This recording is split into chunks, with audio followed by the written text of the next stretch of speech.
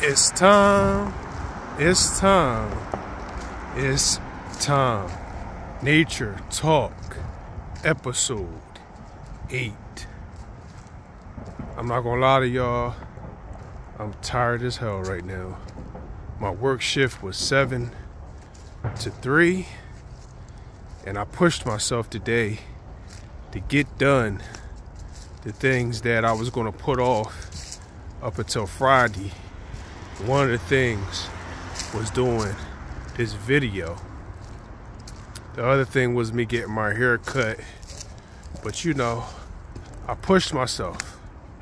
I pushed myself to be able to, you know, get done the things I need to get done because your time is your most valuable asset.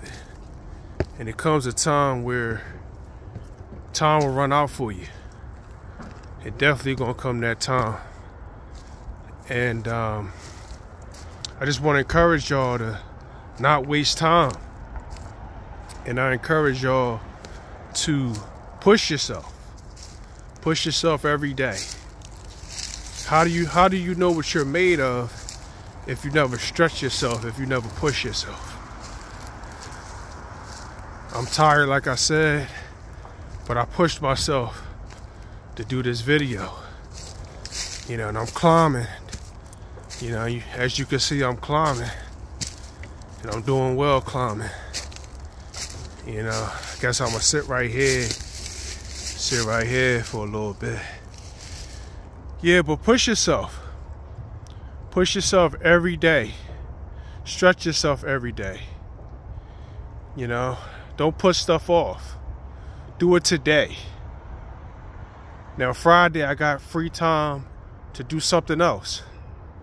Your most valuable asset is your time. And also, you can't get time back. Don't put off tomorrow what you could do today because tomorrow is not promised. And your time is your, your most valuable asset. I can't say it enough. And continue to push yourself. I know I, I look like I'm tired. I know I feel like I'm tired.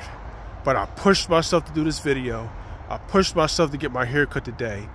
Now I got free time on Friday to do something else. I encourage you today, push yourself, push yourself, push yourself. Your most valuable asset is your time. Your most valuable asset is your time. Your most valuable asset is your time. Enjoy your day. Enjoy the rest of your week.